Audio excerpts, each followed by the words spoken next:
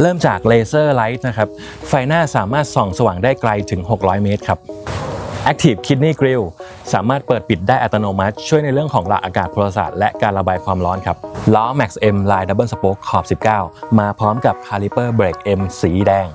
เครื่องยนต์เบนซิน 3,000 ซีซี 6 สูบเรียง 387 แรงม้า อัตราเร่ง 0 ถึง 100 4.5 วินาที ไฟท้าย LED แบบ L shape นะครับ มาพร้อมกับฝาท้ายที่สามารถเตะเปิดและเตะปิดได้